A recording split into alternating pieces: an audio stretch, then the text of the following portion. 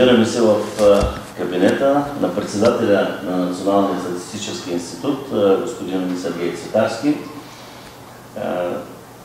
В момента започваме ексклюзивно интервю с него за най-важните теми и въпроси за българския експорт.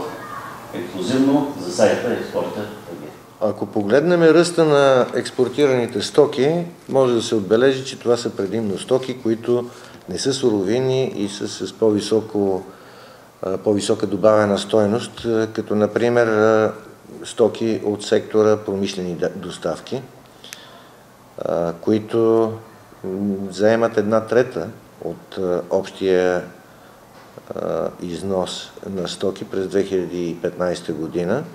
От тях преработените промишлени доставки са 31%, т.е. основната част от тях са такива доставки. На второ място са потребителските стоки, чието дял също нараства от 2011 година, през последните 5 години, и те формират 8,5 на 100 от износа през 2015 година.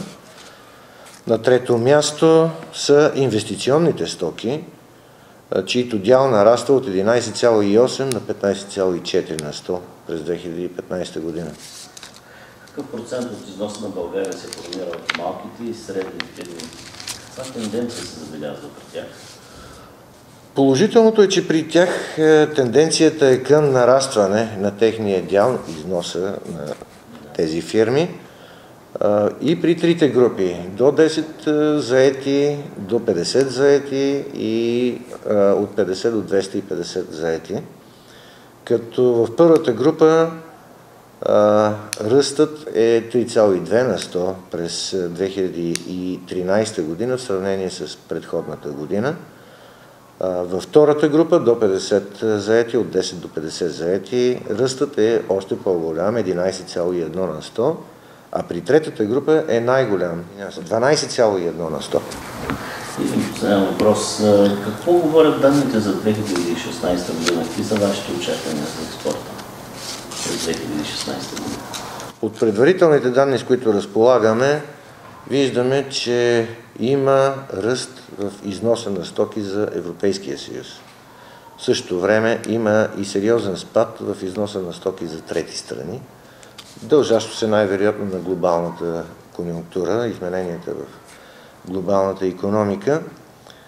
А, през периода януари-април 2015 година общият износ намалява с около 3%. Това е по предварителните данни, с които разполагаме. Спрямо същия период на 2015 година. В същото време трябва да отбележиме, че най-голям е ръстът през 2015 година, в сравнение с 2014 година, в секторите химически вещества и продукти 22,5 на 100 и машини, оборудване и превозни средства 12,5 на 100. господин Цитарски, кои са основните експортни пазари на България и кои от тях формират най-голям дял в нашия експорт?